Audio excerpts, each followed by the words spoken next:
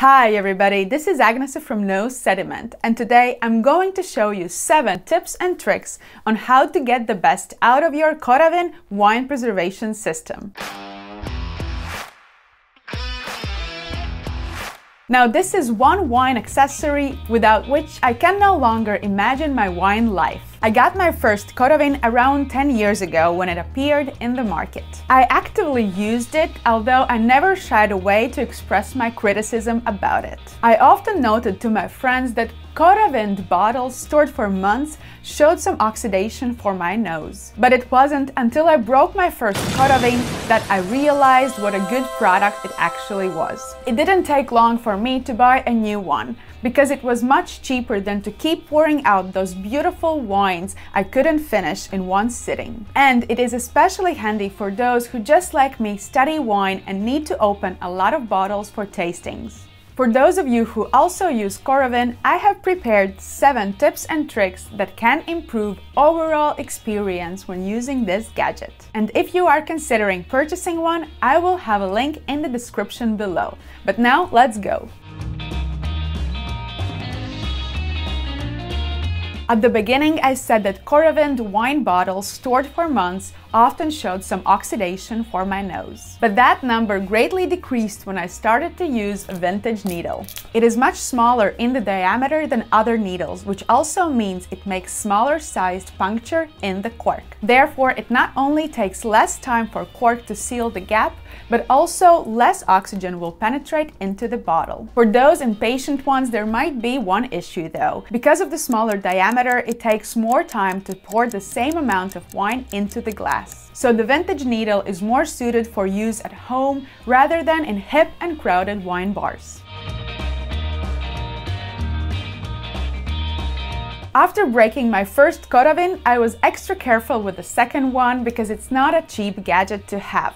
I have been using this one for 5 years now. And since I didn't need a new Coravin, I was also not up to date with the latest developments. I was really happy to find out that Coravin is now suited for wines bottled under the screw cap as well. It is amazing how many great wines are actually bottled under the screw cap. And unfortunately, for a long time, the only way to deal with an open bottle under the screw cap was to use the good old vacuum pump to seal it for later. Recently, I got my hands on the Coravin Timeless 6 model, which comes with screw caps, so I was eager to try.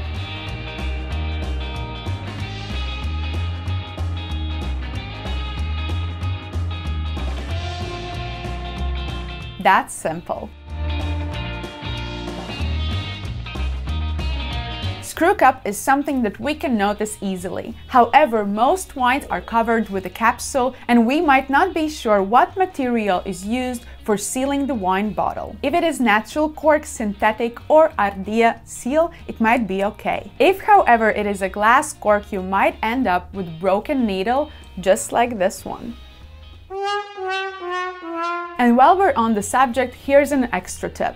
I have noticed that some people who use Coravin like to remove the capsule altogether. However, I am not a fan of it. The capsule provides extra barrier between the wine and outer influences. Removing it completely also makes visible possible sediments in the bottle around the cork, thus ruining the aesthetics. Therefore, before the pushing needle in, remove the capsule just as much as necessary to confirm the type of closure. Before using my Coravin, I always do a little test push. First of all, it shows whether or not you have any argon gas left in the system before you do yet another punctuation in the cork. If the capsule was empty, you will need to remove the needle from the cork Change the capsule and make cut into the cork again. Second of all, it also helps to remove any oxygen that has entered the Coravin system while it was unused, thus once again limiting the amount of oxygen that enters the bottle. Rubber bands used for finger cuts might not lead to the nicest looking bottles in your cellar or wine rack, but it definitely helps to keep your bottles underneath and area around it clean. I have noticed that some wines leak after they were used with Coravin. If those bottles later are stored on top of other bottles, chances are great you will have ruined labels. Not so much a problem with white wine, but with red and especially sweet wines, quite unpleasant. One option is to use a needle with smaller diameter I mentioned before, but another inexpensive and efficient way is to use rubber bands that you can put on the bottle's neck. If any leakage will be happening, it will capture it, and your wine cellar will be clean and tidy and bottle labels safe.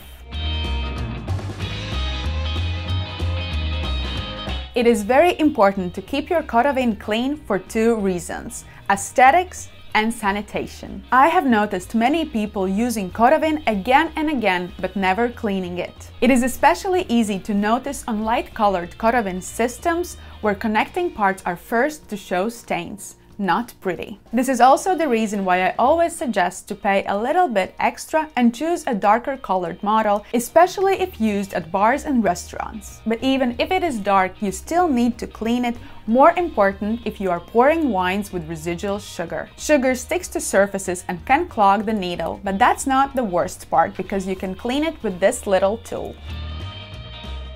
Much worse is that sugar also attracts bacteria, and if you don't clean your Coravin, then you simply keep pouring your lovely wine through a bacteria filter over and over again.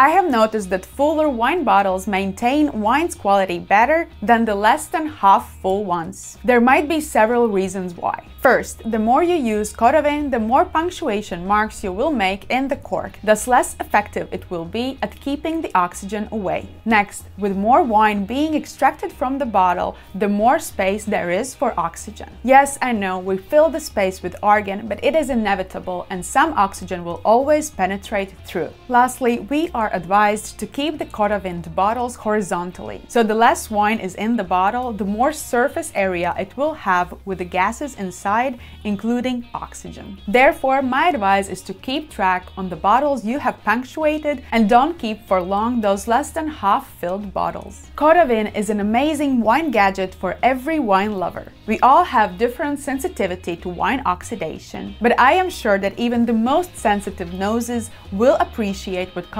Has to offer. Let me know in the comments if you have any other Coravin tips and tricks for me, and what is your experience with this or other wine preservation systems.